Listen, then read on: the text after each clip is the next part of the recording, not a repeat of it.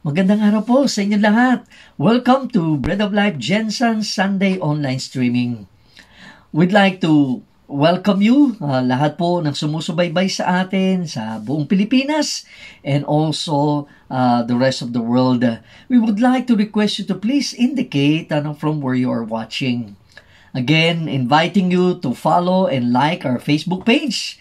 And also, we would encourage you to post uh, a prayer concern, or uh, some stories that you would like to share with us. At siyempre, sa ngayon po, as we are uh, watching, hindi po tayo makasulat ng ating mga prayer concerns. So, we would really uh, invite you to join so that we can really connect with you and, and pray for your concerns. Again, subscribe to our YouTube channel, Bread of Life Jensen. You'll be able to watch our previous um, uh, messages po. And we would highly appreciate if you could write down some comments along the way as you're listening, say an amen or write an amen or uh, a little a little comment uh, about what you're learning so far. So we appreciate po para nagkakaroon po tayo ng parang nagkaka-engage po tayo sa isa't isa. Okay, so let me start by showing you a video clip of a of a woman uh, who got divorced and the struggle ano to break through sa kanyang being a single parent. Let's watch. I was divorced 2 years ago and becoming a single mom was really really difficult in a lot of ways. I I don't think people realize um, how lonely it feels juggling everything. You definitely feel different in public, I think, especially whether it's school events or just walking around the grocery store or at church, you feel different and it's a very lonely feeling. You don't feel like you're enough. You think, I've failed my kids, I have failed my parents, my family, uh, maybe I've even failed God. And it's just sort of a dark space that you're in and you're walking through. It kind of just keeps going on and on. You wonder, like, when is the light going to break through? I remember uh, a specific day.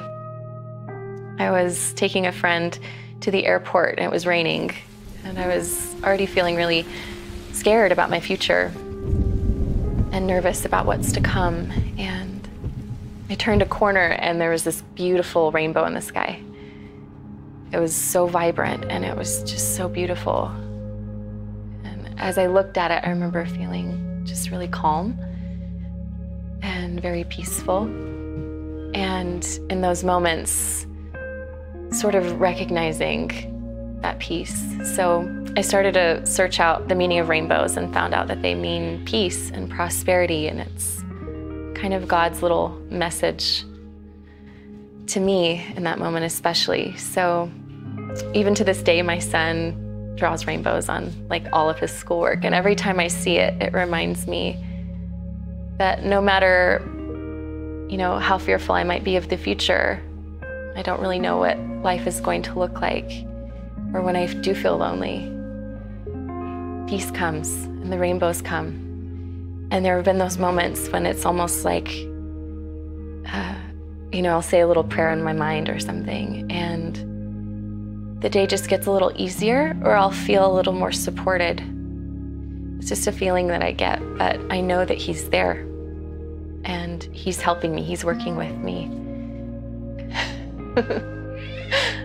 so, this is my life.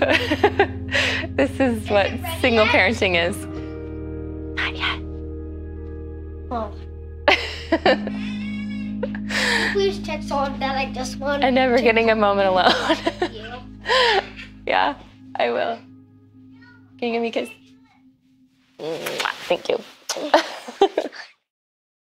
Grabe, ang kanyang tanong, ano, when is the light going to break through? Kailan ba, kailan ba ako makakalusot, ano, after the divorce? Siyempre, bouts of loneliness and responsibilities of taking her kids, uh, taking good care of her kids. Siyempre, dami niyang gustong magawa, kaya lang parang feeling niya, parang failure siya, parang dark space nga, no? Was, uh, as she was walking through, mm, parang walang katapusan na, parang kadiliman na dark, na ito pong space na to. And so, yun po ang nakapagpa, kumbaga na, na deal sa kanya, kumbaga ay nakapag-release sa kanya, ay ang isa pong uh, rainbow na nakita niya. And looking at the meaning of a beautiful rainbow, nakita niya it's about peace, about prosperity. And so somehow, nabungayan po siya.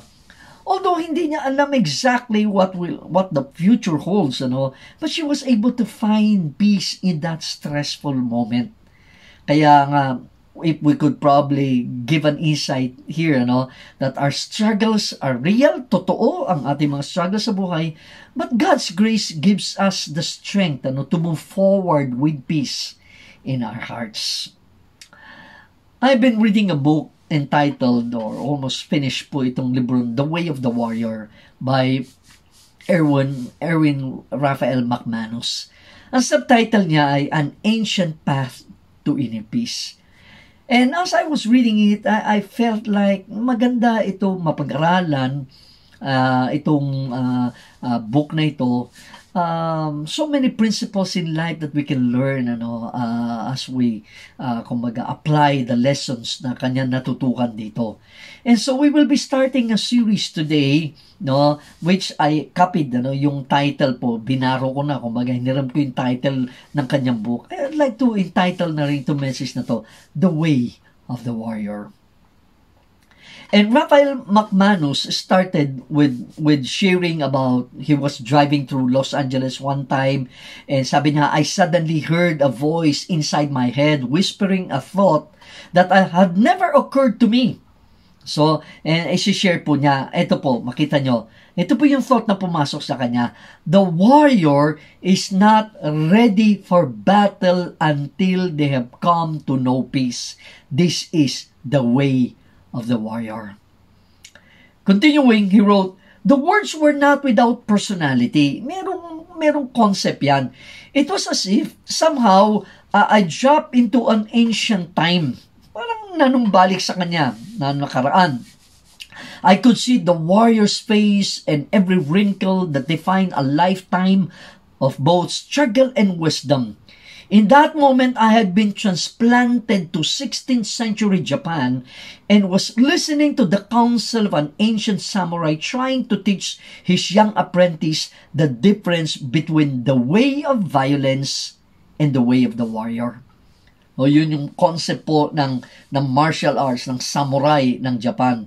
O, it is easy enough for me to understand some of the experiences that had informed this moment in my imagination Probably kasi dahil yung kanyang favorite film niya ay entitled Seven Samurai, written and, and directed by a Japanese named Akira Kurosawa.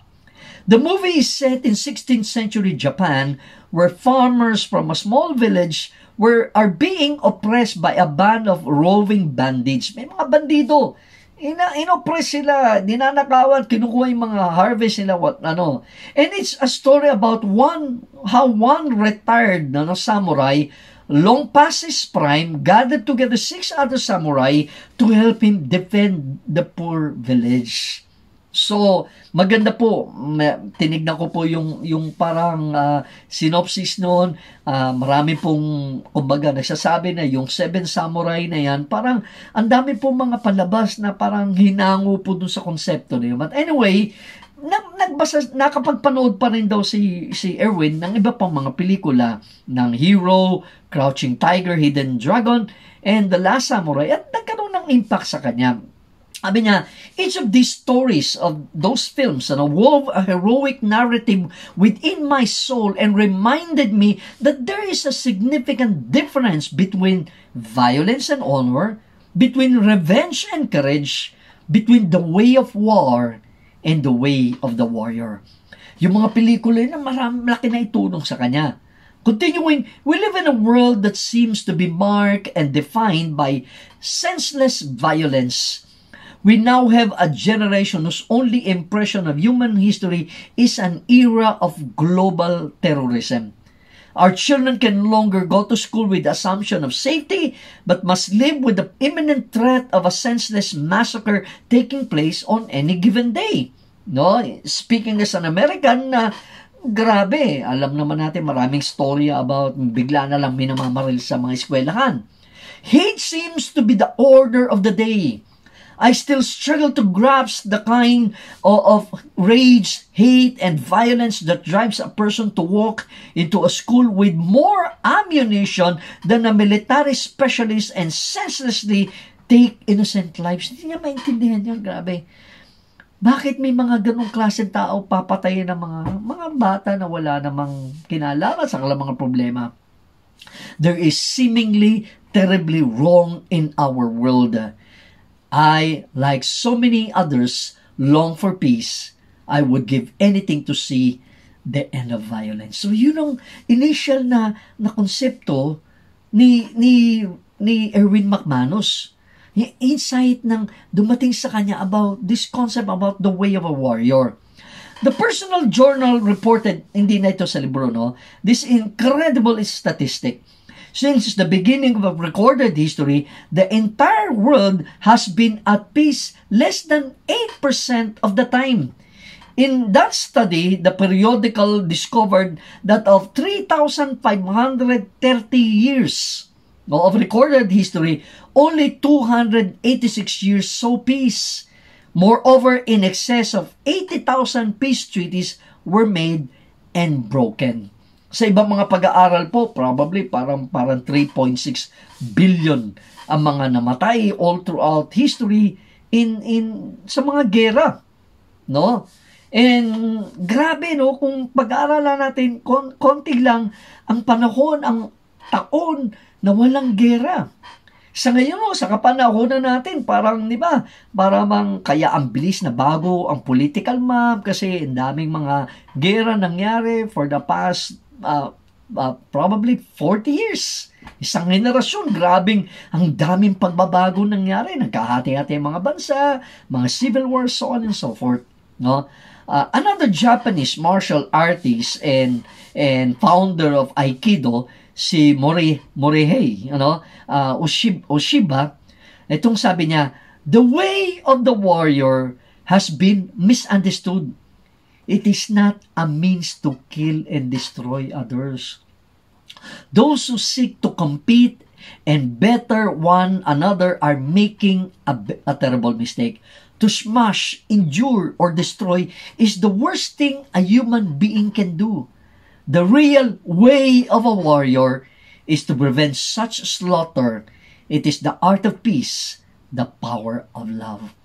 Kaya nga 'di ba sa umpisa nung sinabi ni ano na a, a, a, a warrior can never find true kumaga uh, can never be a, a warrior kung hindi niya magkaroon ng kapayapaan uh, sa gitna ng digmaan. Para bang ang parang pinagsama niya ang peace at saka battle. And so that is in a sense actually the way of the warrior. Hindi ito hindi ito bugbugan, hindi ito hindi ito patayan. Hindi ito pagalingan lang. There's something, ano, it's an art of peace, the power of love. Yun ang real concept ng martial arts. Ang totoong konsepto niyan. Huh? Continuing, uh, Erwin wrote, I have been asked many times over the, the years why the Bible depicts God as a God of war. I am always reminded that it is not God who created humanity to live in violence, but rather it is humanity that chooses violence. That is our history. That is our present both as a species and as individuals. We would have a history of even more wars if God did not exist. Kung wala ang Diyos, lalo tayong nagpatayan. No? No? Our past is one of conflict, of division, of greed and power, a constant battle where nation rises up against nation and brother rises up against brother. God is tainted by being part of our, our story, but the story of God is a story of peace. The language of God as a warrior came to exist because he intervened for the defenseless. No? He heard the cries of, of a people battling slavery and came to set them free. So yes, it was a declaration of war, but a declaration of war against injustice, oppression, and inhumanity. Kaya para bang naging God of War siya dahil gustong tulungan ng Diyos ang tao oh, out of yung, yung mga pag-aaway na ginawa ng mga tao sa kanya-kanya. Pagpapahirap ng tao sa kanyang kapwa. It would be easy to blame God for what we have created and to question His character because He works to bring peace into our stories rather than manipulating every aspect of the story from the outset. I have become convinced that more than any of us, God understands the war that rages within and around us and that He longs to lead us to the end of violence. Gusto ng Diyos mabigyan tayo ng kapayapaan. No? Kaya itong magandang pagkasulat pa ni Erwin, we are people of war because we are a people at war. We are at war within ourselves. We are at war with God if we do not have a personal relationship with God. And because of that, we will be people of war. All the violence we see in the world is but a small glimpse of the violence that churns or that stirs in us. This war that rages within us eventually boils over and sets the world on fire. Dahil wala tayong kapayapaan inside dahil we are at war with ourselves and we are at war with God. No? Kaya nag-spill over sa ibang tao. Kaya tayo hindi maayos ang maayos sa isang relationship natin sa ibang tao kasi tayo at war within and at war with God. It is the war within us that is the focus of the way of the warrior. Kaya yung kanyang libro, hindi ito about labanan. Hindi ito kung paano mo tatalunin ang kaaway mo. Oh, tatalunin mo sila sa ibang kaparaanan. Ito yung, yung war within na natagumpayanan mo, kaya yun ang kaparaanan ng isang warrior. Oh, Sinulat niya, I choose this imagery because I'm convinced that the only path toward world peace is inner peace. Na peace of God. Kaya there will be no peace in the world. Kahit anong gawin natin, UN, peacekeeping forces, oh, kahit anda dyan ng mga UN keep, uh, peacekeeping forces, di ba? Labanan ng labanan, patayan ng patayan. Wala. Hindi masosolve ba? unless a person, everyone will have that peace in them that comes from God. I am surrounded by an endless number of people, people I love, people I care deeply about, who struggle with inner demons that put them at daily risk. Kaya suicide has become a global epidemic even among the educated and affluent. Those who could who would seem to have the most reasons to live cannot even cannot think of even one. Yung mga hindi naman yung mga mangmang hindi man walang pinag-aralan hindi naman mga mahihirap lang ang nagpapakamatay. Yung mga edukado. Di ba yung mga tanyag? Alam na natin dami-daming storya ng mga celebrities and well-known people who took their lives bakit wala kapayapaan sa loob sad it's sad suicide is a sad thing. Uh, another problem, depression, is at an epidemic level, and we cannot seem to design medication fast enough enough to keep us from drowning in an, an abyss that exists within us. Diba? Ang daming taong depressed. Daming taong laklak ng laklak ng mga medisina para to to to overcome that depression in their lives. No? Otherwise talented, gifted, extraordinary human beings are paralyzed by anxiety and overwhelmed by stress. And a growing number of young men and women who have never gone to war find themselves in a battle with post traumatic stress disorder. The world is sick. People are sick. people don't have that peace that God promised. The sudden outburst of violence that uh, that have marked the history of our children can no longer be seen as an anomaly and must be addressed as a cultural state of emergency. I am tired of losing people I love. No? Maybe I cannot bring peace on earth by writing this book. But if I can bring peace to one person, I will consider my job done. O para kay Erwin McManus, itong libro, yung kanyang librong ginawa, no, sana makatulong isa, kahit isang tao magkaroon ng kapayapaan no, with God.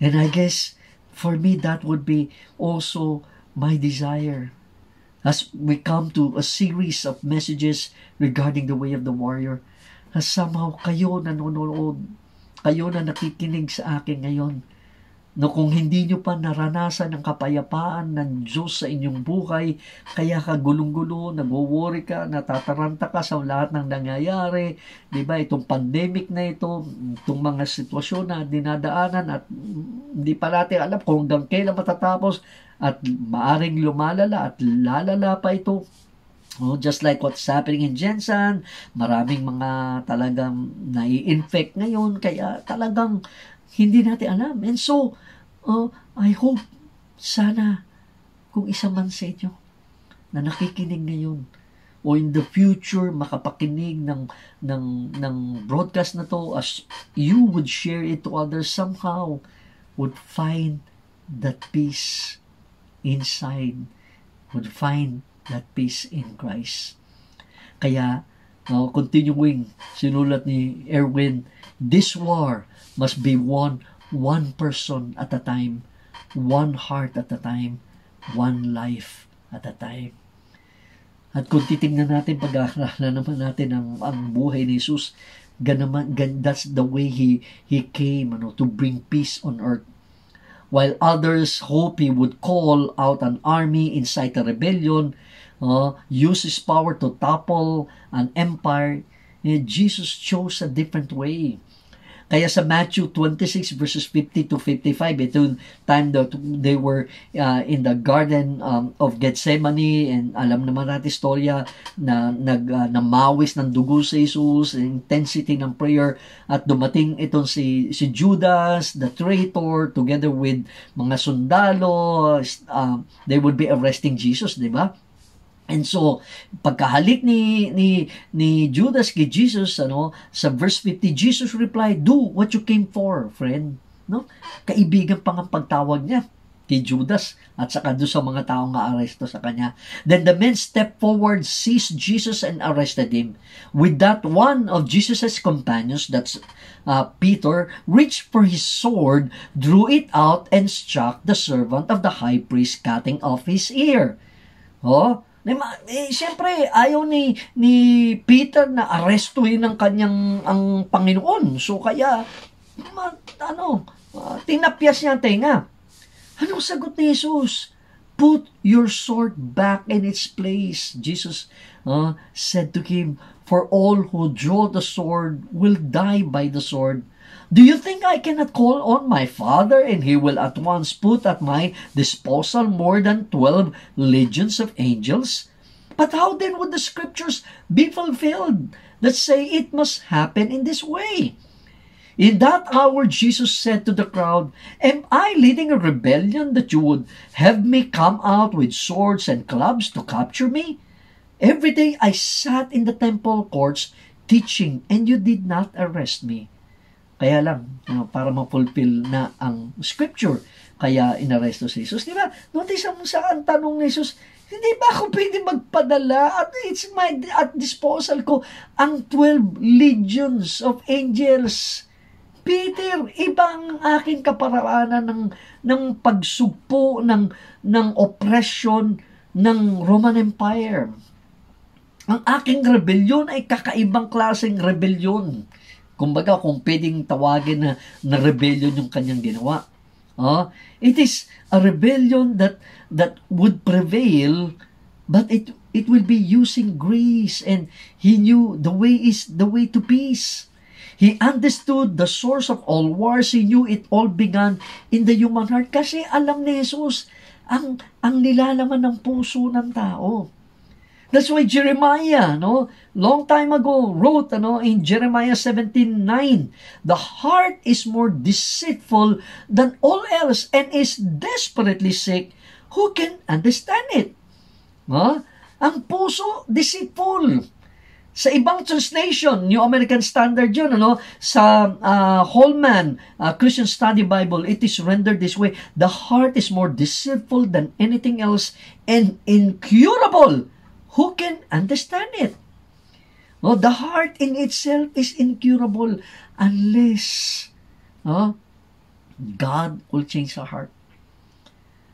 That's why Ezekiel would say, uh, uh, the Spirit of God, sa sinasabi, that I will put my Spirit in you and cause you to walk in my statutes. I will change your heart of stone into heart of flesh. Oh, ang Diyos ana nagbabago ng puso. Kaya it boils down sa anong nilalaman ng puso nito. Kaya tayo oh, at war with other people because there is war within us. And if that war within us, yung, yung hindi natin matanggap yung kapayapaan na yun, oh, hindi ko talaga tayo maayos. Kaya nga, maski nga yung mga tao nakatanggap na ng kapayapaan ng Panginoon dahil nananatili naman yung sinful nature sa tao na kahit makilala ng Panginoon, kaya nagkakaroon pa rin ng mga discord along the way. Di how much more kung wala, kung walang, walang, walang, uh, kumbaga, pangunguna ng Diyos sa ating buhay. Di lalo pong gulo-gulo ang buhay natin. No? Kaya, yun po, no? So, do you have any insight regarding this portion ng ating pag-aaral. Write down. Write something. No? Uh, Erwin continued, It is the way of Jesus that is the ancient path to inner peace. Kay Jesus ang, ang kaparaanan, ang, ang daan ng kapayapaan. In choosing to follow Him, sabi niya, personally, I have chosen the way of the warrior. Every day I find myself at war. Even after all these years, there are battles that rage within me. No? No, siya na nga, many years ago, he, he gave, uh, gave up his life to, to God, no? And receiving the peace of God. Pero meron pa rin battle up to now. I am still fighting behind enemy lines. I have known all the enemies of the human spirit. I have known fear and doubt. I have known bitterness and anger. I have known jealousy and greed. They are all too familiar to me. And after many years of walking this ancient path, I have come to know this one truth most certainly. Ano yun? Oh, ito basahin natin. The world within you will create the world around you. Kaya, hindi yung coming from the outside, inside, kung yung nas, nilalaman ng puso natin, yun ang lalabas. Kaya nga, di ba, Jesus is saying that, ano, wala lang, hindi ko lang maipost sa atin, ano, na, di ba, out of the fullness of the heart, the mouth speaks.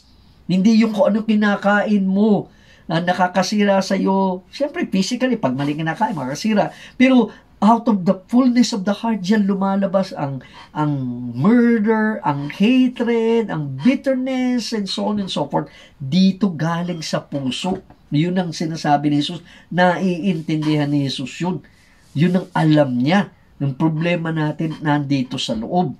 No? Inner peace does not come by accident nor by desire. Inner peace is a journey towards self-mastery.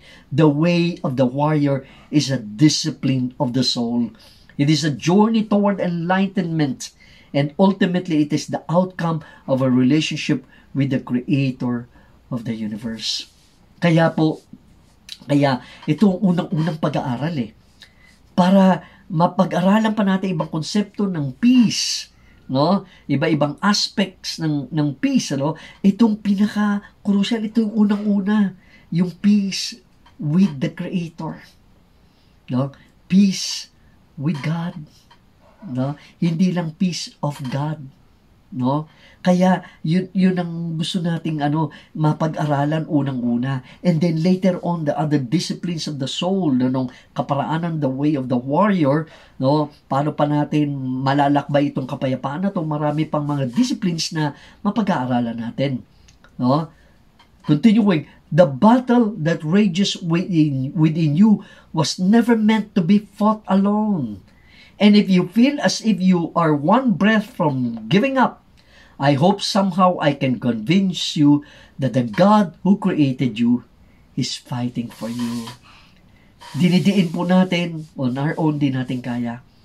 Kaya ko, kailangan natin ng Diyos sa ating buhay. Inilalaban tayo ng Diyos.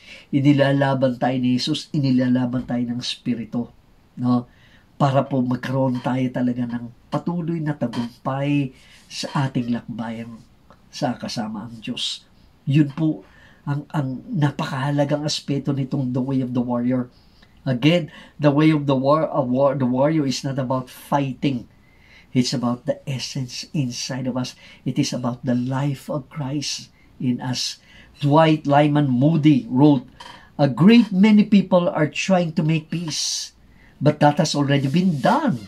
God has not left it for us to do. All we have to do is enter into it.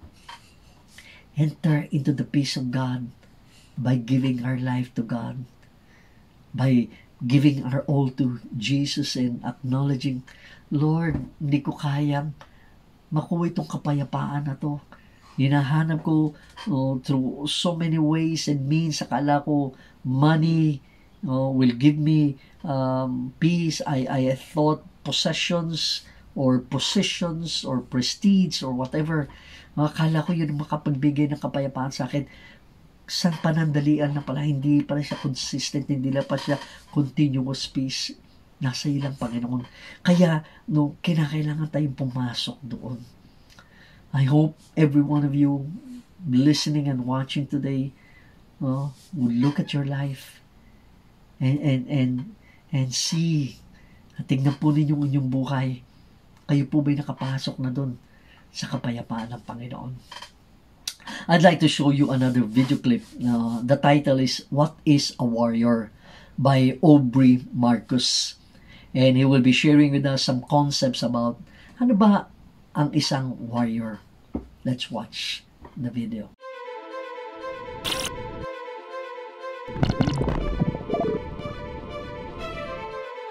A warrior is a way of life, a way of thinking, a way of being. Carlos Castaneda says we choose only once to be warriors or ordinary. We choose only once because choosing to be a warrior alters your fundamental approach to life. While others will view everything as a blessing or a curse, you will see only challenges. And a warrior lives to overcome challenges. Every warrior has a code, an ethos. It is an invisible thread that connects him to all of his warrior brothers and sisters since the beginning of time. Stephen Pressfield asks, How do we find our true calling, our soul companions, our destiny? He answers, In this task, our greatest ally is the warrior ethos. A warrior never hopes, but yet he must have faith. Hope is powerless, useless. The longer we sit in hope, the more time we waste. Because the universe gives only what is sought, only what is believed. Because at times not every path is clear and not every enemy a fire and dragon. When the forest is dark, the warrior holds his ground with faith that if he remembers the warrior code, the light to illuminate the darkness will come. For the warrior, the body is as important as the mind, for the two are inseparable. Daniel Bolelli writes A person who knows there's a wild wolf living under his skin is less likely to be intimidated by reality. When the mind is in doubt, the body provides tangible proof. A warrior is not an ascetic. He does not deny himself the pleasures of conquest simply for the sake of denying them. He realizes that in doing so, it is easy to think he is doing great things when really he is just focused on himself. But neither is he attached to these pleasures. He can walk away from them at any time. Sometimes he does, just to prove it to himself. The warrior is a natural leader, and he leads under one principle follow me. When Alexander the Great was threatened with mutiny after years of brutal campaigning in India, he stepped forward, stripped off his armor, and challenged his men. Bring forth a man who has bled more than me, and we will go home. No one stepped forth, because it was Alexander, riding his horse Bucephalus with a double plumed helmet, leading every charge. His men erupted in cheers and pounded their shields. The warrior is a believer. As Paulo Coelho says, because he believes in miracles, miracles begin to happen. Because he is sure that his thoughts can change his life, his life begins to change. Because he is certain that he will find love, love appears. A warrior is highly tuned to sense danger, but he does not fear. He does not fear because pain is temporary and death an illusion. What is eternal cannot die, and he knows that he will laugh, he will love, and he will fight for all eternity, this world or some other. If he errs, if he wanders, if he indulges in self pity, he does not despair. He knows that he is human, and he remembers the choice that he made. He picks his sword back up from the ground and resumes the path of the warrior. A warrior fights for one reason alone love. Love of life, love of what is good, love of family, love of love for his infinite soul on the quest for impeccability. He lets love swell in his heart, flushing through every cell of his being until he can't help but proclaim, like Cyrano de Bergerac, I am going to be a storm, a flame. I need to fight whole armies alone. I have ten hearts. I have a hundred arms. I feel too strong to war with mortals. Bring me Ang ganda na pinakita ng concept ni ni Aubrey about the warrior. What is a warrior? A warrior is a way of life, a way of thinking, a way of being. No, choosing to be a warrior alters your fundamental approach to life. Pagka, pagka yung gusto mo yung lakbay ng isang warrior, no, mababago ka eh. Kakaiba.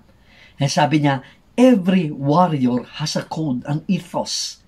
Meron pong code sila, meron pong silang konsepto sa buhay ang mga warriors. Ano? It is an invisible uh, thread that connects him to all of his warrior brothers and sisters since the beginning of time. No, kaya po meron silang konsepto. Kaya for Aubrey, di ba, sabi niya, a warrior must have faith because at times not every path is clear and not every enemy a fiery dragon. No? Although parang maring baka di tayo masyado mag-agree dun sa kanyang concept that a warrior never hopes. No? But anyway, um, kung lampasan lang natin yun, parang may ibang aspeto na tama siya. A warrior, hindi, hindi mo alam, hindi mo alam ang naklaro ang, ang yung lakbayin eh. Kaya siguro kaya kinukonekta niya sa hope na hindi uh, a warrior never hopes kasi hindi ka palagi parang seemingly yung hope na naghihintay lang sa wala. Parang ganun siguro kaya kaya parang hindi siya believe sa hope. Well, anyway, for the warrior, sabi niya, the body is as important as the mind because the two are inseparable. No? Ang problema ng iba, oh, dinadaan lang ang pagiging warrior through skills, through the body. Walang mind. No? Walang walang pag-exercise ng mind or oh, yung pag yung tamang pananaw sa sa aspeto ng buhay, ano? A warrior is not an as, ascetic. He does not deny himself the pleasures of conquest simply for the sake of denying them. No? A, a warrior is a natural leader. No? Kasi, no, bakit? Kasi natuto na siyang sumunod eh. Kapag ka warrior ka, bago ka maging warrior, nagiging estudyante ka muna eh. At dahil estudyante ka, natuto kang sumunod. At dahil estudyante ka, natuto kang magpasakop. Kaya dahil marunong ka magpasakop, malaking kapa, ka, pagkakataon na magiging leader ka because true leader, a true leader is a servant. Oh, kaya ang ganda ng pagka-example niya kay Alexander the Great, di ba? After nung mga may mutiny, so nagubad siya, and so pinakita niya yung scars sa kanyang ano, na itong mga dinaanan ko. No? Kaya sabi niya, bring forth a man who had bled, has bled more than me, and we will go home. Kasi gusto na umuwi ng mga mga sundalo eh. Wala. Kasi nakita nila yung hirap na ginawa ni Alexander, Alexander the Great. No? The warrior is a believer. He believes in miracles. Miracles begin to happen in his life. No? A warrior is a highly tuned, is highly tuned to the sense to sense of danger, but he does not fear. No? Madadaanan pa ho natin yan mamaya, no? But anyway, ito po yung konsepto. And lastly, a warrior fights for one reason. One reason alone, love. Love of life. Love of what is good. Love of family. Love of, of tribe.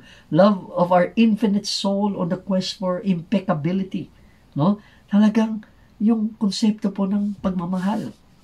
Ma- madadaanan din po natin a little later about about that mamaya sa isa pong video clip.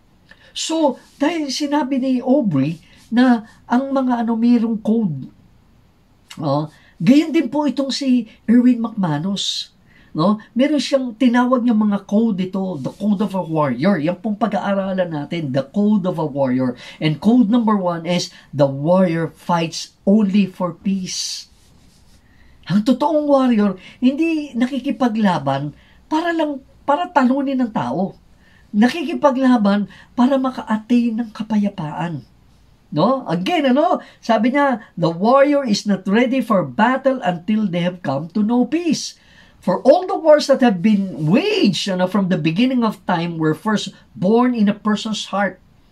We have a history of war because our souls are at war. We have conflicts because our hearts are conflicted. Every war, every conflict, every act of violence exists because uh, of our soul's rage. Our only hope for peace is to win the battle within. Kaya ang pakikipaglaban ng isang warrior, ang unang-una, yung unang-una niyang talunin yung sa loob. sa loobin niya.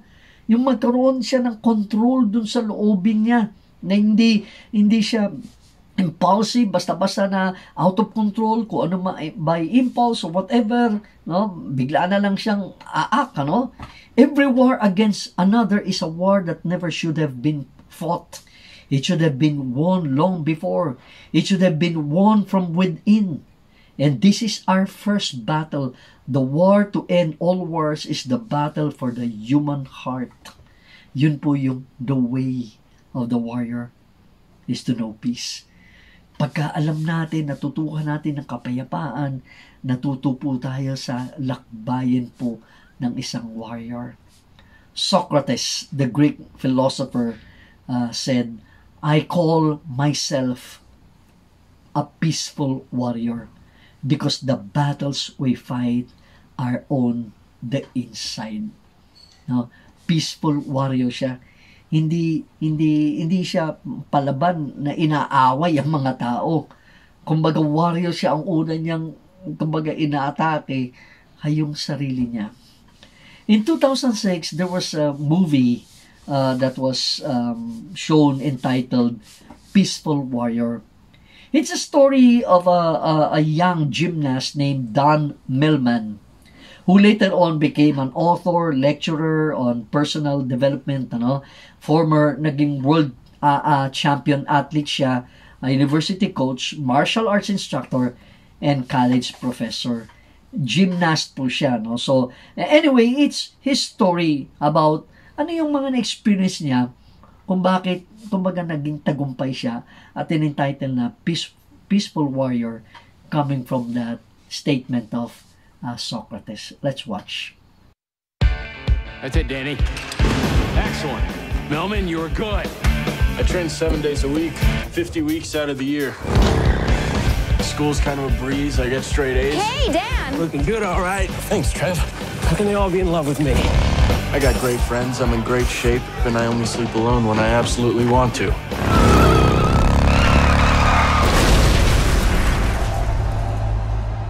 Dan. I want to know what's going on.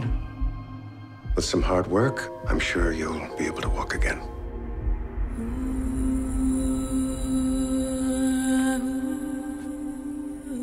Help you with something?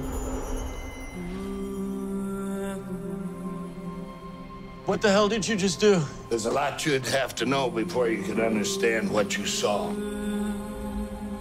Mine is just a reflex organ. Reacts to everything. Toss me that wrench. I don't know what to do now. Everything has a purpose, even this. And it's up to you to find it. A warrior does not give up what he loves. He finds the love in what he does. Ouch.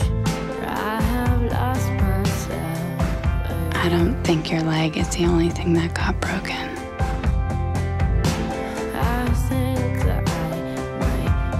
The doctors have told me you will never compete again. Throw out everything you don't need in here that is keeping you from this moment. You'll be amazed at what you can do. I call myself a peaceful warrior. Because the battles we fight are on the inside. This moment is the only thing that matters.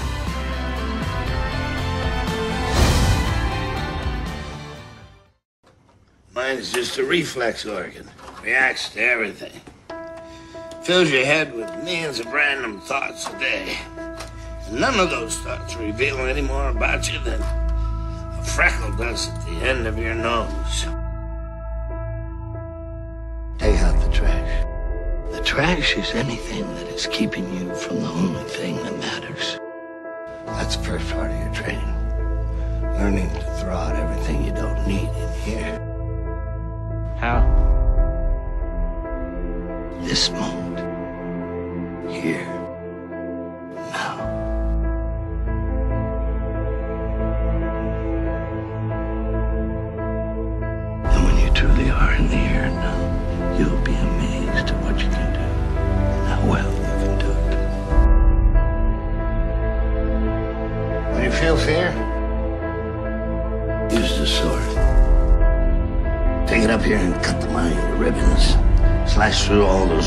And fears.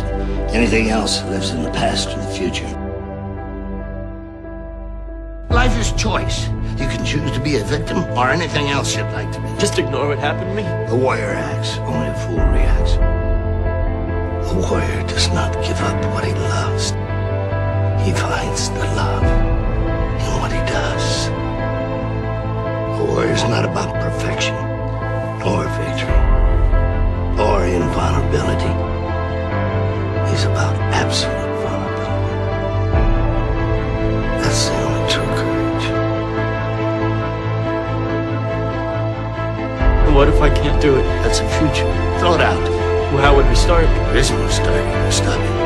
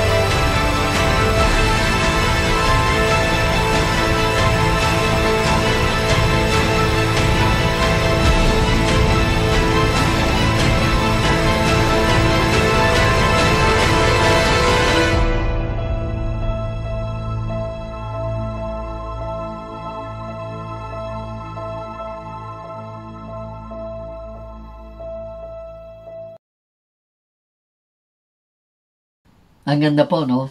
Pinakita ko dalawa, ano, dalawang portion nito. Una, trailer ng Peaceful Warrior at saka certain motivational concept nitong Peaceful Warrior. Kaya ito yung struggle niya about this, uh, knowing the sense of life. Successful naman siya, pero hindi siya fulfilled. No? Until itong maganda, nagkaroon ng trahedya, na aksidente, at isang, yung boss niya, no, biglang nabigyan siya ng pananaw, tamang pananaw sa buhay para makapanalo siya sa buhay. No? Kaya ah, ang ganda po ng mga concept. Ito yung binabanggit ko kanina about love. A warrior does not give up what he loves. He finds the love in what he does. Kasi 'di ba parang akala natin pagka warrior ka, para bang igigib mong pagmamahal mo dahil naging warrior ka. Hindi. Love mo yung pagiging warrior. Yung ginagawa mo pagiging warrior, love mo yun eh. Oh, sabi nung girlfriend niya, ni Dan, di ba? I don't think your leg is the only thing that got broken. Oh, na broken din ang yung spirit, kaya parang ayaw mo na.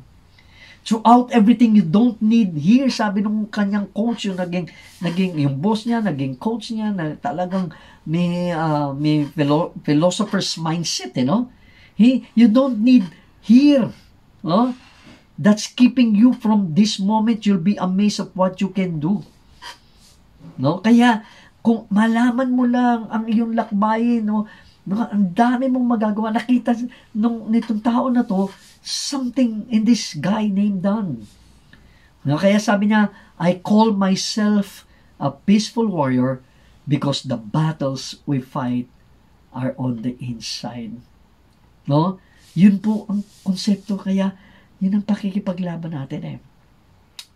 In the book of Genesis, ano, we, we see the story of Cain and Abel. Alam natin that God instructed them to uh, sa tamang paraan ng pag uh, pag-worship sa Diyos. And uh, hindi nagawa ni Cain yung kanyang dapat gawin, ano? Uh, na pag-alay sa Panginoon, no kaya pinatay niya yung kanyang kapatid. Pag doon sa chapter 4 ng Genesis, ano, from verses 6 to 7, ito nakalagay. Then the Lord said to Cain, Why are you angry? Why is your face downcast? Bakit ka galit na hindi ko tinanggap ang iyong, ang iyong offering? If you do what is right, will you not be accepted? But if you do not do what is right, sin is crouching at your door. It's, it desires to have you, but you must rule over it. Huh? No, kung, kung tama ang ginawa mo, bakit ka magagalit? Hindi ka dapat magalit. Huh? Kasi kung tama ang ginawa mo, tatanggapin ka. Kaya lang mali ang ginawa. No, bakit? No, so sin is crouching at your door. Ang kasalanan ay andyan, kumakatok o nag-aano sa iyong pintok ng puso mo. Andyan yun. Kaya, ingat ka. Oh, kaya kinakailangan ma-rule mo yun. And how will you rule that? Not by your own power, but by receiving the God of peace. Oh, by having the God of peace rule and take over your heart. Kaya, alam natin nangyari, oh, kaya pinatay ni Cain si Abel. At, no, pinalaya siya ng Panginoon. Actually, grasya na ng Lord yun na mm, may grasya pa rin ng Panginoon doon sa buhay niya. Yeah? That's why God is a God of peace. We are we are the ones who brought war to the human story. No, God has been fighting for us so that we might find our way back to peace. No? Peace can come only when it is fought for. In fact, if you choose the way of peace, you will find yourself in a constant struggle and endless battle. That's why we will see uh, si Job uttered something like this. Job 3 verses 25 and 26. What I feared has come upon me. What I dreaded has happened to me. I have no peace, no quietness. I have no rest, but only turmoil. No? Para bang storya natin lahat yan eh. Kung tayo mismo parang gagawa din ng storya, ng susulat natin ang ating buhay, parang ganun din tayo kagaya ni Job. It is, it is a struggle all of us know. Yung iba mas grabe pang struggle. No? Peace is an ideal of which we speak but it's something this world has never fully known. Hindi alam ng world. Ang mundo uh, ay is uh, marked by envy, jealousy, greed, violence, and bloodshed. Yun ang mundo eh. Umiikot ang mundo, marka ng mundo, ganoon eh. Well, there will never be peace on earth until there is peace in us. No, that's why the way of the warrior must begin here. That's where our journey begins. The way of the warrior begins with finding the missing piece. And Jesus is the one who will give that. No, yung panahon ni Jesus, ano, uh, in a sense, Jesus as a man, uh, sinulat ni ni Erwin, was not born free. Actually, slave din siya dahil because of the Roman Empire. Kaya lang because um, paghahari ng ano kaya kumbaga ang ang the Hebrews were in a sense Romans possession. That's why Jesus as a human was subject to to Caesar no, who proclaimed himself a God. Uh, ang ganda pagkasulat niya, no? if Jesus knew freedom, it was not because of his circumstance. If Jesus knew peace, it was in contrast to the chaos that surrounded him. Ang kapayapaan ni Jesus ay hindi dahil ano kumbaga o ang kalayaan ni Jesus ay hindi dahil malaya sila. Hindi. Alipin nga sila eh. Napapangunahan nga sila ng Roman Empire pero malaya sa Jesus. Why? Malaya siya dahil yung kapayapaan, alam niya. Kaya kahit surrounded siya ng kaguluhan, alam niya yung kapayapaan, alam niya yung kalayaan na kanyang nararanasan. Meron ka bang ganung experience? Na, na, na, ano mo ba yun? Alam mo ba yun? Naintindihan mo ba yun? Alam mo, na-experience mo ba yun na sa gitna ng kaguluhan sa iyong buhay, meron kang kapayapaan sa loob. Kaya yung sinasabi ni Erwin eh, McManus, the warrior fights only for peace. And itong code na to, o kumbaga ethos na to, merong mga ilang bagay po ating titingnan dito. Number one, the war within. Uh, John 14:27, Jesus said, Peace I live with you, my peace I give to you. I do not give to you as the world gives. Your heart must not be troubled or fearful. No? Yung with simplicity and wisdom, no, pinakita ni Jesus dito, ano yung mga bagay na numanakaw sa ating kapayapaan. Probably the two greatest enemies of peace uh, are, number one, uh, the war within, ang, ang nagnanakaw ng, ng kapayapaan natin, worry. No? Sinulat ni Erwin, All around me I find troubled hearts, men and women drowning in worry. Whether we use the language of stress or anxiety or find ourselves in the depths of depression or despair, worry is the source of so much of our heart's troubles. Worry projects a negative view of the world around us. No? Mali, negatibo. Worry projects a negative future. Worry is is an act in a sense of faith. Anong faith? It is a deep-seated belief in a worst-case scenarios. Oh, may pananampalataya din ang ang worry kaya lang yung pananampalataya niya pananampalataya na masama ang mangyayari. Worry is not rooted in reality but does affect our reality. Huh? Yun ang konsepto ng worry. Huh? Hindi real siya kaya lang pero yung reality na apektuhan eh. Hindi naman katotohanan, giisip siya, negatibong pag-iisip ng isang tao, kaya siya worry ng worry, no, natataranta siya, nababagabag ang puso niya dahil sa worry, oh, dahil iniisip na niya yung masamang mangyayari, kaya nga worst case scenarios. Julius Caesar, no, the Roman general who became an emperor said, has a rule, Men worry more about what they cannot they cannot see than about what they can. Naaabala tayo do sa mga bagay na hindi natin nakikita kaysa yung nakikita natin. No? Inaabala natin ang sarili natin do sa mga hindi natin nakikita o hindi natin alam o baka lang na mangyari. Kaya sabi ni Paul, o pagkasulat ni Paul, Philippians 4.6, Be anxious for nothing. No? Parang irony nga ito. Sabi ni, sinot ni, ano, ni Erwin. Oh, I, I found irony in the words of Paul. I know that what he means is that we should not allow anything to make us anxious. But the truth is that it is usually nothing that is making us anxious. No? Na, ang ganda ng play on words ni Erwin, ano? Oh, wag mong allow kahit ano oh, para maging anxious ka. Kaya lang minsan yung nating ang nagpapa-anxious sa atin.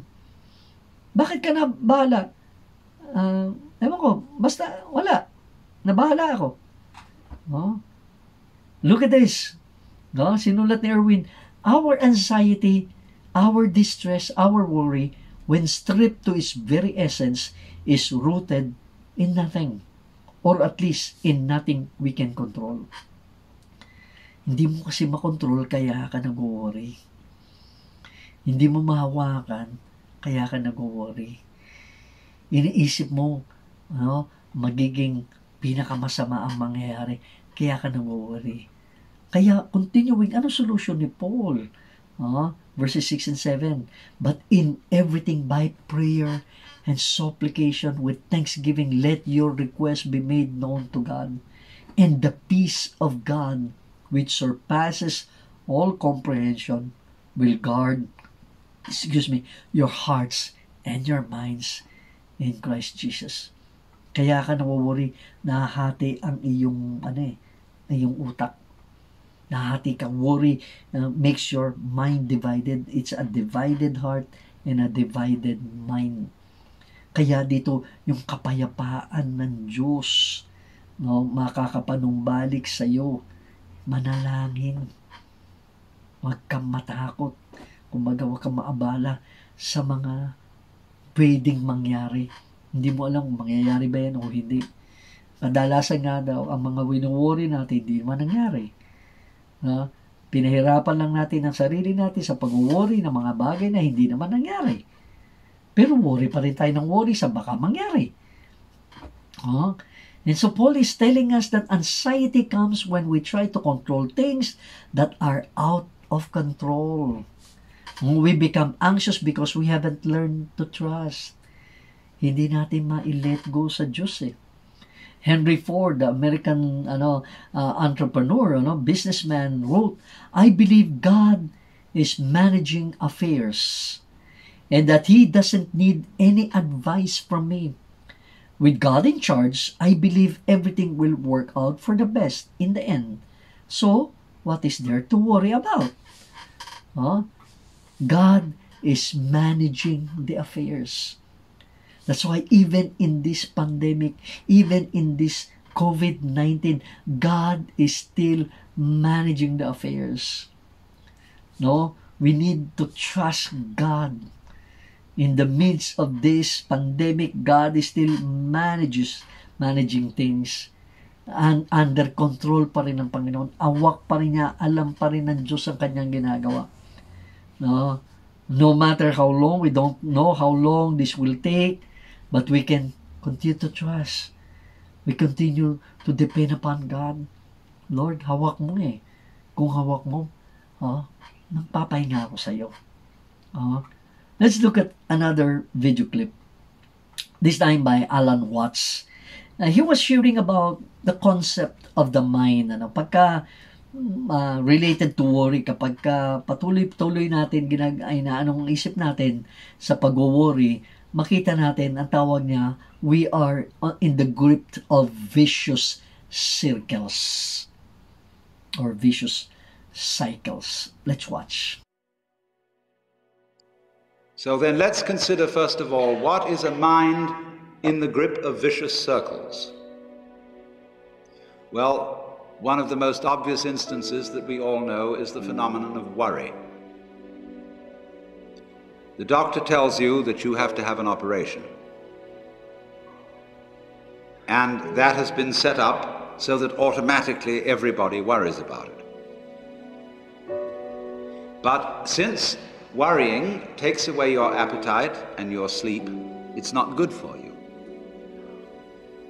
But you can't stop worrying, and therefore you get additionally worried that you are worrying. And then, furthermore, because that is quite absurd and you are mad at yourself because you do it, you are worried because you worry because you worry. That is a vicious circle. So now, can you allow your mind to be quiet? Isn't it difficult? Because the mind seems to be like a monkey. Jumping up and down and jabbering all the time. Once you've learned to think, you can't stop. And an enormous number of people devote their lives to keeping their minds busy and feel extremely uncomfortable with silence. When you're alone, nobody's saying anything, there's nothing to do. There's this, this worry, this uh, lack of distraction. I'm left alone with myself. And I want to get away from myself. I'm always wanting to get away from myself. That's why I go to the movies. That's why I read mystery stories. That's why I go after to girls or anything that you do or get drunk or whatever. I don't want to be with myself. I feel queer. So, well, why do you want to run away from yourself? What's so bad about it? Why do you want to forget this? Why do you want to become yourself? Because you are addicted to thoughts. Is a drug, a real dangerous one. Compulsive thinking, going on and on and on and on and on all the time. It's a habit. So there's a difficulty about stopping that activity. And you really have to stop it if you want to be sane. Because if I talk all the time, I don't hear what anyone else has to say. Then I'll end up in the situation of having nothing to talk about but my own talking. Or so in exactly the same way, if I think all the time, I won't have anything to think about except thoughts. So in order to have something to think about, there are times when you simply must stop thinking. Well, how do you do that? The first rule is don't try to. Because if you do, you will be like someone trying to make rough water smooth with a flat iron.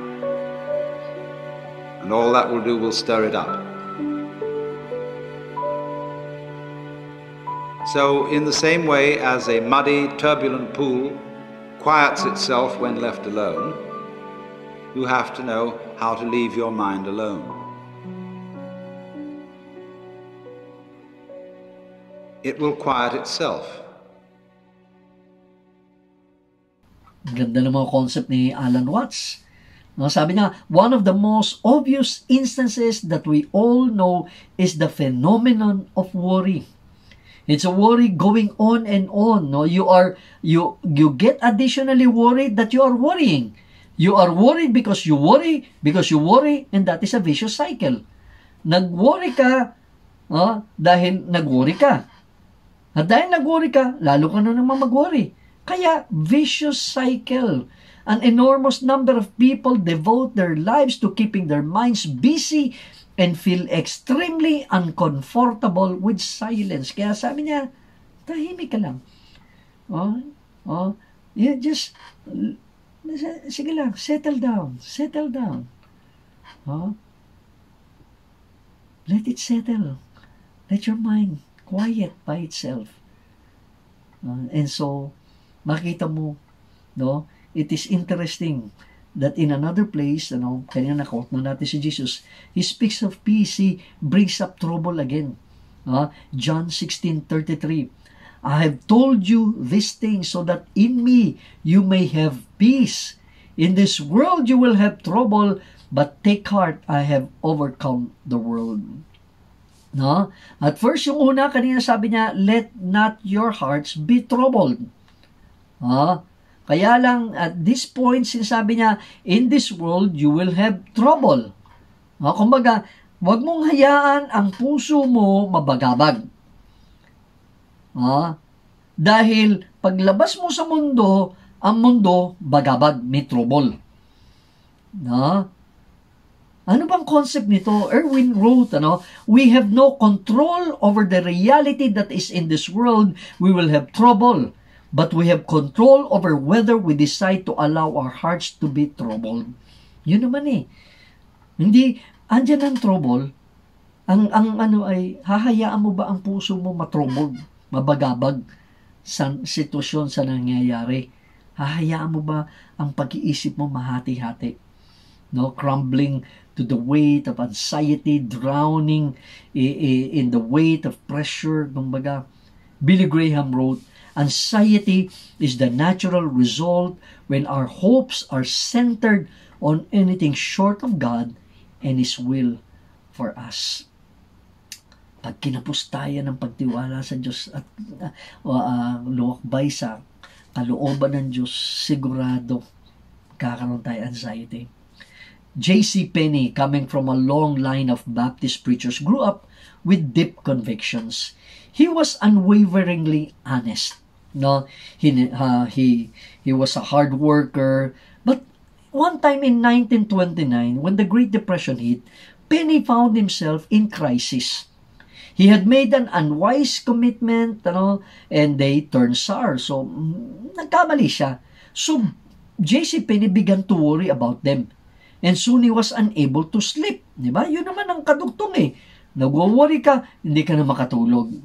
And then he developed a painful case of shingles. Itong shingles is a disease caused by pain and red marks on the skin. Parang nagkakaroon ng pantal-pantal ka dyan sa path ng nerve mo. And so dahil doon, oh, nagka, na-hospital siya. His anxiety only increased in the hospital. Oh, and it seemed resistant to tranquilizers and drugs. Eh dahil hindi siya gumagaling, eh di lalo siya nag-worry, lalong nagde-deteriorate siya. His mental state deteriorated until, itong sabi niya, I was broken nervously and physically, filled with despair, unable to see even a ray of hope. I had nothing to live for. I felt I haven't had a friend left in the world that even my family turned against me. Well, notice, yun ang essence ng ano eh, ng anxiety. Kapag ka na-anxious ka, nag-worry ka, pati yung ka- kapamilya mo, yung mga mahal mo sa buhay, yung mga kaibigan mo na tumutulong sa iyo, akala mo kaaway mo na rin. No? One night he was so oppressed, he didn't think his heart would hold out. And expecting to die before morning, he sat down and wrote a fa- farewell letters to his wife and sons. Businessman siya. Oh, parang parang nagmamay-ari ito ng mga department stores. And so, nabagabag, worry na to, grabing effect sa kanya. But he did live through the night. And the next morning, he heard singing coming from the hospital chapel. Na, ang napakinggan niya ng words ganito, Be not dismayed, whatever betide you, God will take care of you. Huwag kang mabagabag kung ano man ang dinadaanan mo, pangangalagaan ka ng Diyos. So, nung marinig niya yung pumasok siya sa chapel, at na narinig niya patuloy yung kanta at may binasa na scripture at nagkaroon ng prayer. Pagkatapos nun sa itong sabi niya, suddenly something happened. I cannot explain it. I can only call it a miracle.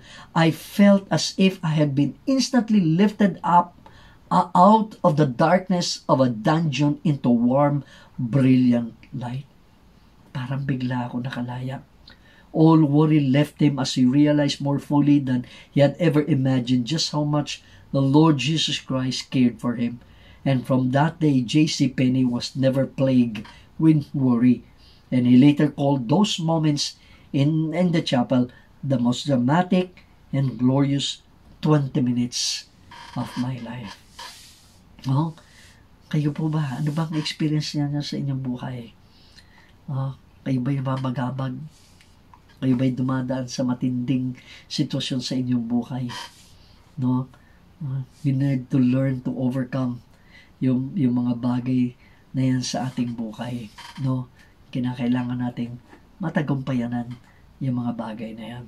Okay? So, let me give you another video clip by by Troy Black, Black rather, Overcoming Anxiety as a Christian. Parang maganda mga statements niya dito. Let's watch. Did you know that anxiety can come from simply having the wrong expectations? Well, if that's true, then what are the right expectations? Here's a simple answer God's expectations. Okay, then what are God's expectations? Here's another simple answer perfection. So, how do you arrive at perfection? You can't. The good news is that Jesus Christ offered you his own perfection on the cross. Romans 5 1 says, Therefore, having been justified by faith, we have peace with God through our Lord Jesus Christ. So, how does that help us deal with anxiety? Once you have peace with God, you get to have peace about everything else. Why? because of promises like the one found in Isaiah 51:12, where God says, "I, even I, am he who comforts you." Who are you that you are afraid of man who dies and of the Son of Man who is made like grass? Why is peace with God so great? Because no matter what is causing your anxiety, when you have peace with God, He is your comforter. He is your solution. You need money? He's your provider. You need energy? He's your strength. You need healing? He is your healer. You're looking for direction? He is your counselor. Then how do we receive these things from God? When we have peace with God, the Holy Spirit is able to dwell in us, and He transforms our hearts. He gives us hearts that are seeking after God and His ways. And when we follow the ways of the Lord, we're going to have the perspective of the Lord as well. I want you to think about something for a second. What if the disciples started writing the accounts of Jesus being on earth before Jesus was resurrected? What if they sat down the day after Jesus' death and started writing the Gospels? It would have been a depressing story. The story would have been told from man's limited perspective. They were scared and they were disappointed. They thought that God had made a mistake, that maybe God didn't see it coming. But God had the better perspective and the bigger picture in mind life and redemption. Some of us are trying to write the story of our lives, but we haven't gotten a hold of God's point of view yet. We're not looking at things from His perspective. We've yet to understand His plan, His sovereignty, and His power. God has a bigger picture in mind for your life. If you're dealing with anxiety that's based on your perspective, you can start to look at things from His perspective today. How do we learn to see things from the point of view of other people in our lives? It's easy. We spend time with them and we get to know them more. The same way, we learn to view life from God's perspective by spending time with God. We get it straight from Jesus. And that is why it's so critical for us as believers to spend time with Him. We have peace with God when we accept Jesus as our Lord and Savior, but we experience the peace of God in our lives and situations when we abide in Him, walking in His presence. John 14, 27 says, Peace I leave with you, my peace I give to you. Not as the world gives, do I give to you. Do not let your heart be troubled, nor let it be fearful. Corey Ten Boom wrote, Worry does not empty tomorrow of its sorrow, it empties today of its strength. There's a second war within, no, na talakay natin, trouble, and second, fear. Uh, McManus continued, uh, Do not be afraid, Jesus said. If worry wars against our peace, fear is perhaps an even greater foe. When we live our lives afraid, it creates turmoil and chaos within us. Uh, look at what he wrote. Fear is the enemy of peace. While worry will rob our joy, fear will steal our freedom. For what we fear establishes the boundaries of our freedom. What we fear has mastery over our souls. When we are anxious, we lose our strength. When we are afraid, we lose our courage. When we have found peace, we have both the strength and courage to live the lives we were created to live. And then Erwin McManus shared uh, two illustrations in his life. Uh, even in, my own life, I see the relationship between worry, anxiety, and the inability to control the world, ar- world around me. Throughout my life, I have had a fear of dogs. Takot daw siya sa mga sa mga aso. Even to this day, I still jump when a dog moves in my direction, even though I love dogs. The root of this fear is not undiagnosable for me. Alam niya kung bakit siya nagkaroon ng takot. When I was around 5 years old, I saw my brother getting bitten, get bitten by a dog. It would have been either one of us, but as life would have it, he was the one the dog targeted. Oddly enough, my brother who was actually bitten by the dog never developed any fear of dogs whatsoever. Yung kapatid niya na nakagat siya, pang, siya pang wala takot sa aso. My fear and anxiety were rooted in what could have happened and not in the reality of what did happen. It was as if for the rest of my life, I kept uh, waiting for what I feared to happen, even though to this day, I have never been bitten by a dog. Di ba? Ganun ang fear, ganun ang worry eh. Yung hindi nangyari sa iyo, minsan parang hinahantay mo na mangyari. Oh? Para bang uh, para bang kaya ka abala, ano, fear and worry uh, no, mag nagkakasama dahil abala ka na baka mangyari. So, minsan parang hinahantay mo na mangyari. Ayaw mong mangyari, takot kang mangyari, pero parang hinahantay mo mangyari. Ganun na nangyari kay, kay Erwin. Oh, Horace, a Roman lyric poet, wrote, He who, uh, rather, who lives in fear will never be a free man. Yun, ang sasabi niya, ang fear, kinukuha yung iyong kalayaan. Ano yung pangalawang fear ni, ni Erwin? For years, I was afraid of roller coasters. Again, it was not rooted in something irrational. When I was around 10 years old, the seatbelt broke while I was riding a roller coaster, and I held on for my life. Uh, I remember screaming my guts out trying to get uh, the operator's attention, but he was too busy smoking to notice. I was never thrown out of the roller as I managed to hold on until it finally came to a stop. But out of that negative experience, an enduring fear took over. I spent years watching other people ride roller coasters. But that's exactly what fear and anxiety do to you. They put you on the sideline watching life happen. Di ba? Pag natakot ka na, na-anxious ka na, hindi ka nakikilos, pinagmamasdan mo na lang yung mga tao, sila may ginagawa, ikaw wala. I couldn't control the variables if I got into the roller coaster, so I stayed on solid ground to give me a sense of control. It was years later when I finally determined to overcome that fear.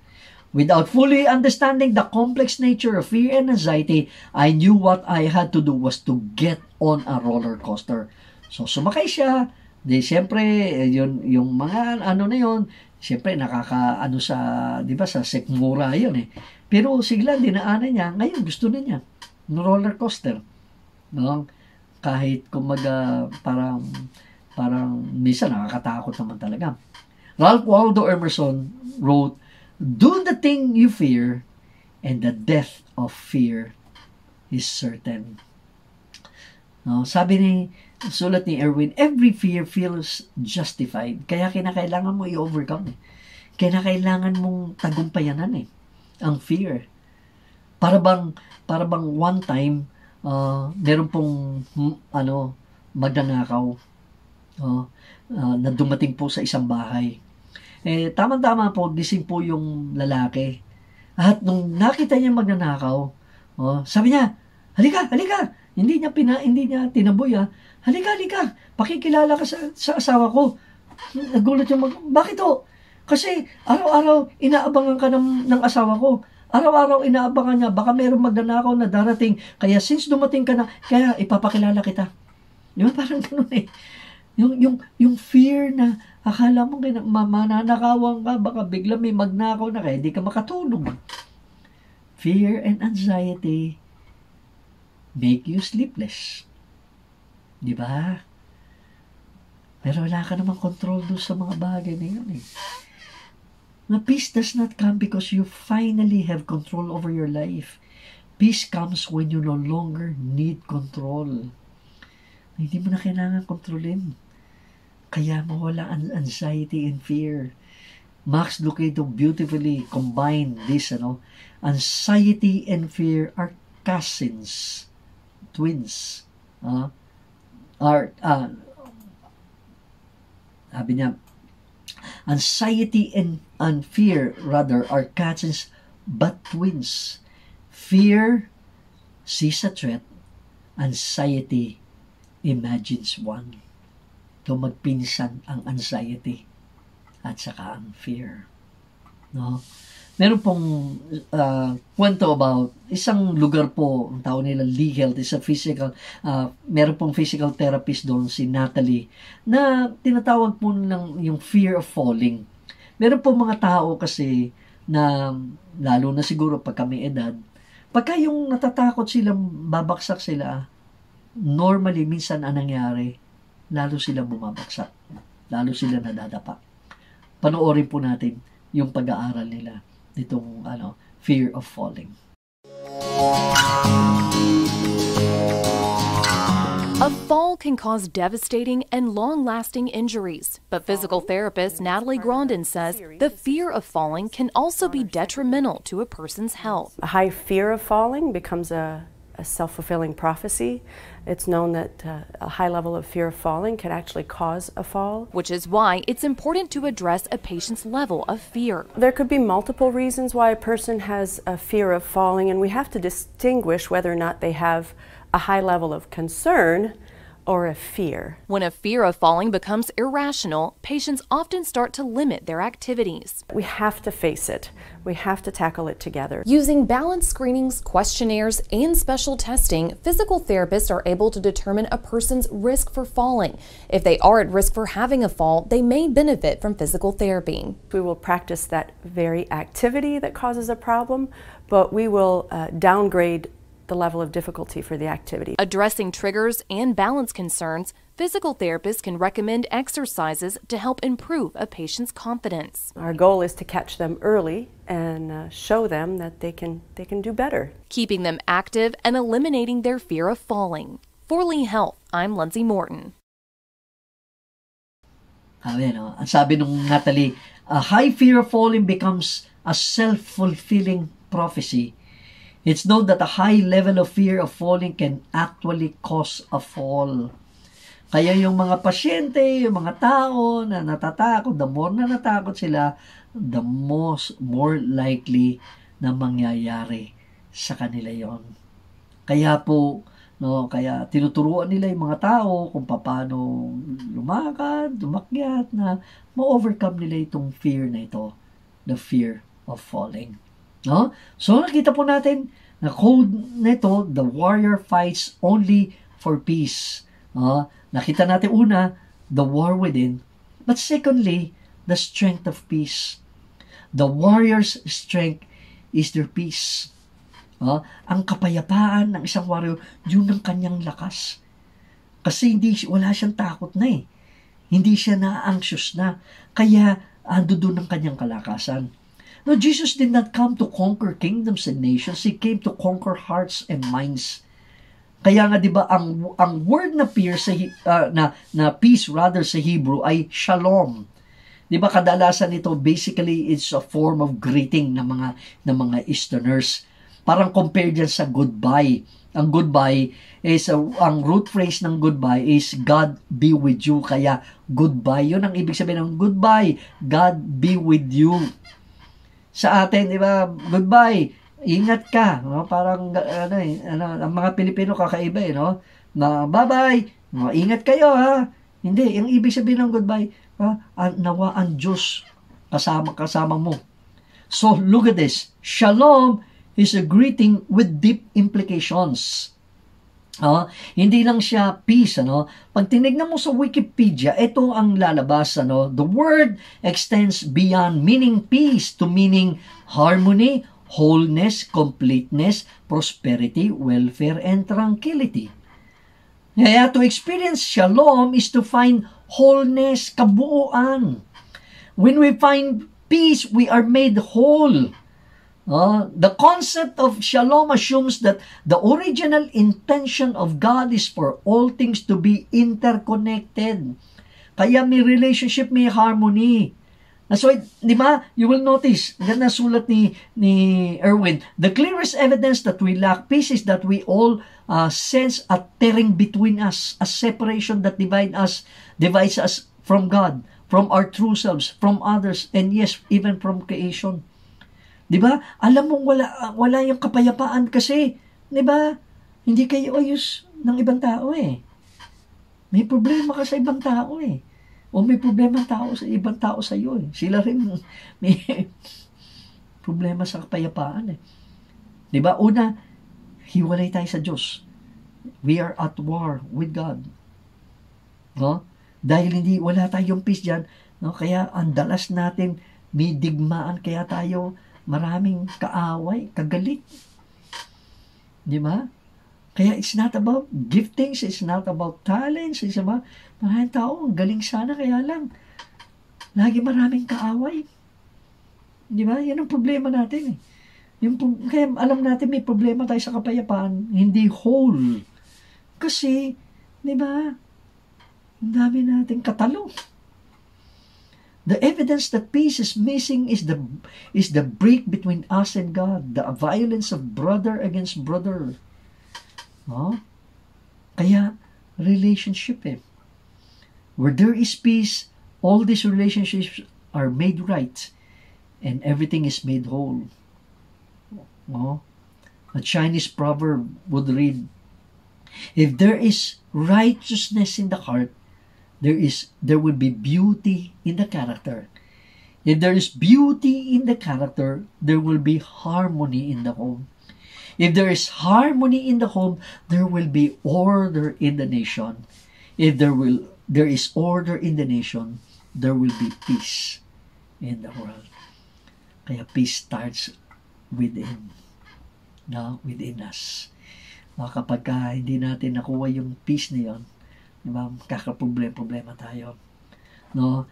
When our hearts have not found peace, we have we become filled with the darkest expressions of ourselves. We are filled not only with fear and doubt, but also greed, envy, anger, bitterness, loneliness, disconnection, despair, hopelessness. Now look at what Erwin wrote.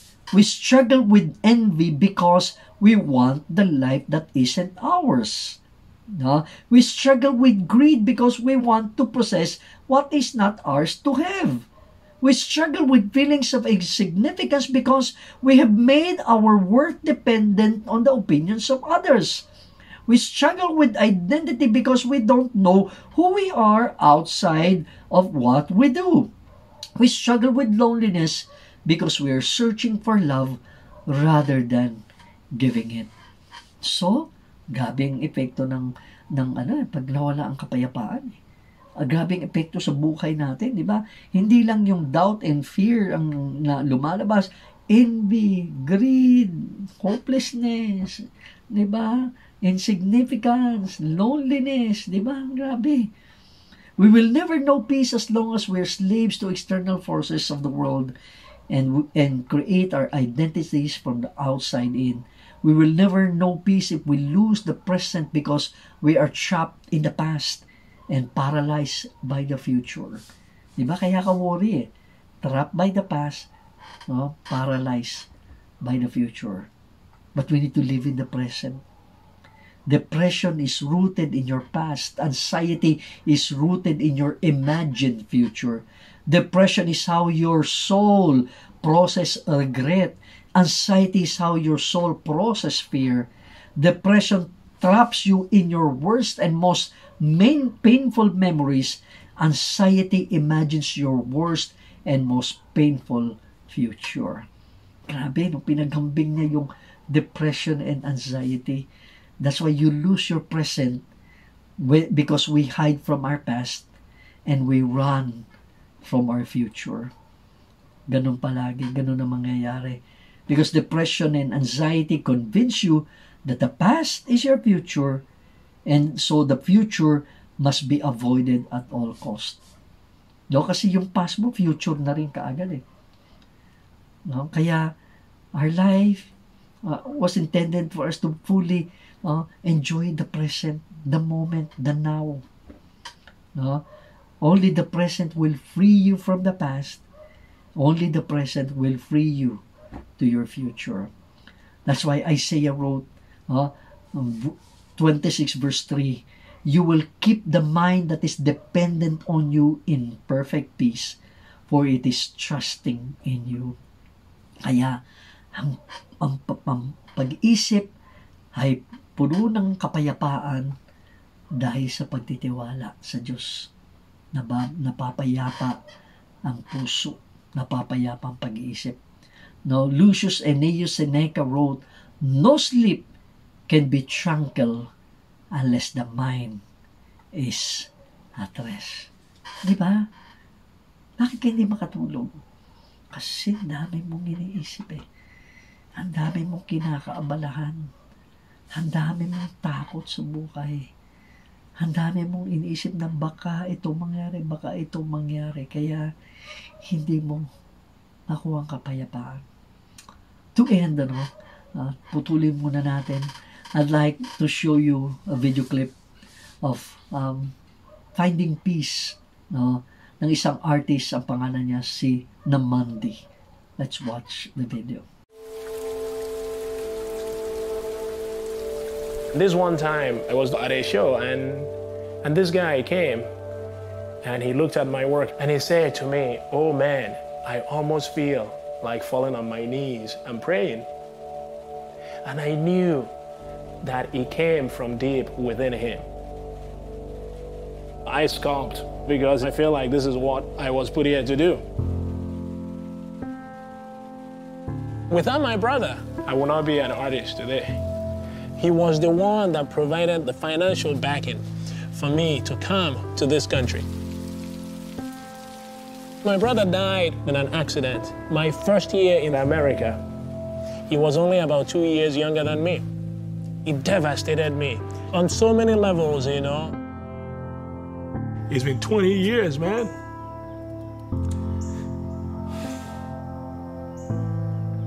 There's so many nights, you know, that I'll, I'll think, remove me from this uh, valley of sorrow. I did not think that there was any way that I could forgive the person that killed my brother. So I asked God, I said, please, I want to do this, but I can't do it. Help me to do it.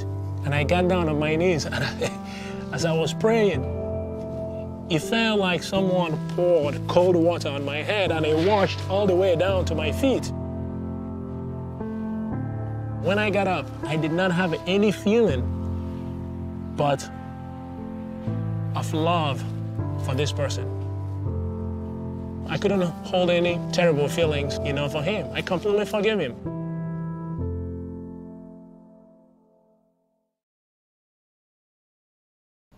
Notice, si Monday was a very good artist. Ano, grabe ng mga sculpture na ginagawa niya. No? Kakaiba na concept niya. No? He was devastated when his brother died. And he couldn't think uh, he could forgive the man who killed him. No, para bang hindi niya mapapatawad yung tao na yun eh. Kaya, di ba, magaling ka, pero devastated ka.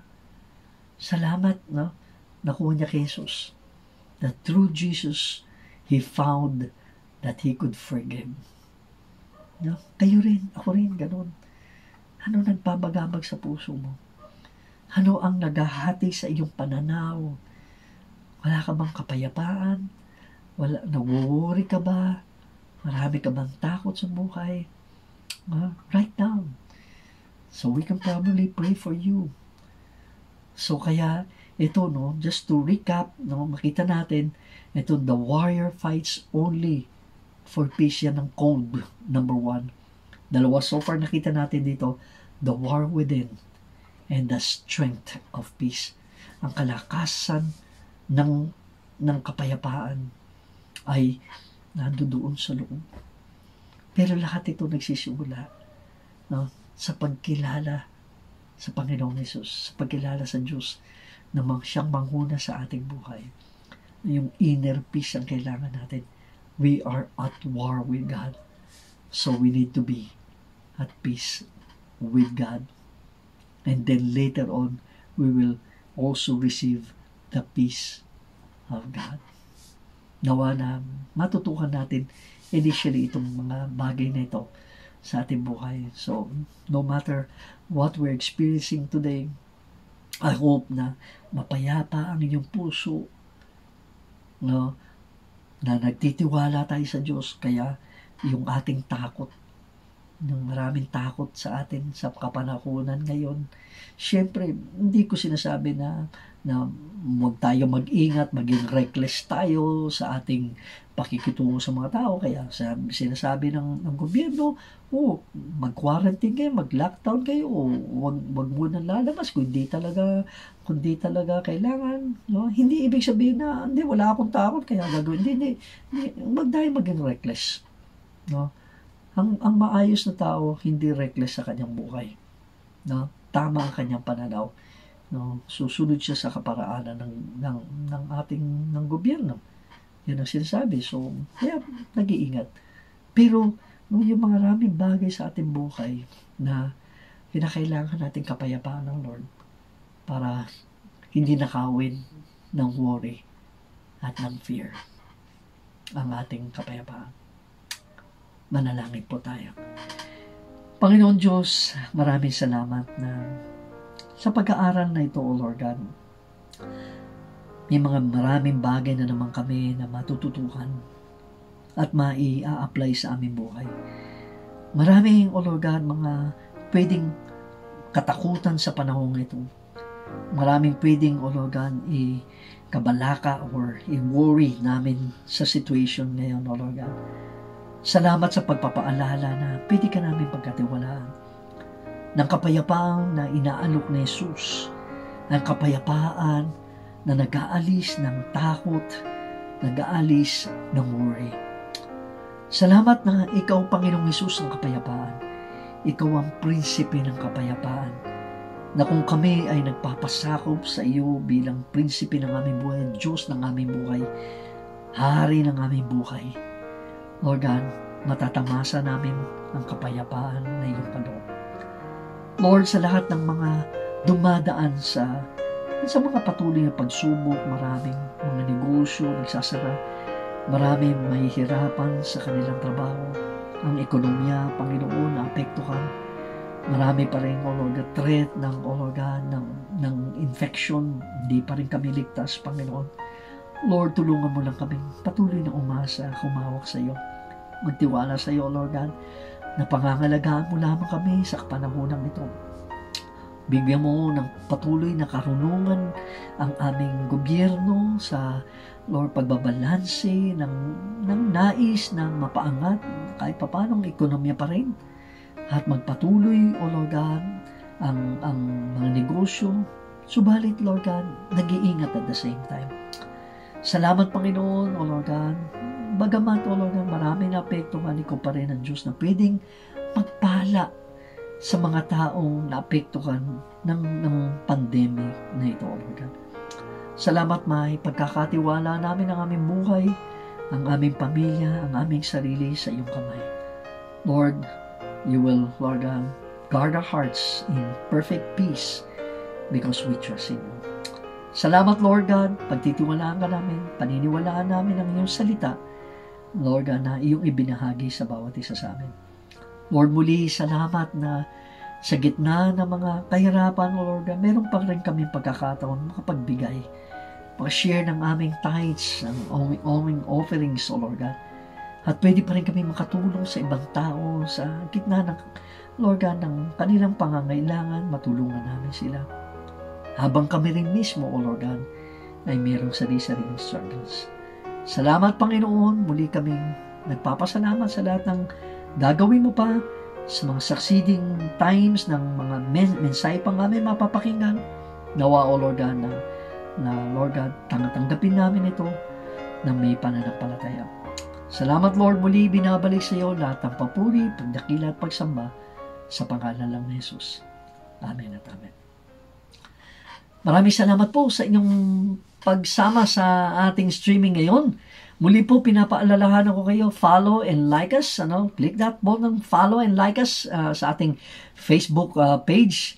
Uh, subscribe to our YouTube channel kung hindi pa po kayo nakasubscribe para mabalikan nyo yung ating mga mga ibang pinag-aralan. At sumulat po kayo, no? write a post ano, sa atin po about anything you need, mga concerns po, maipapanalangin po namin kayo. At mga ano pong mga kwento po ng inyong tagumpay na gusto po namin ma- ma- mabasa.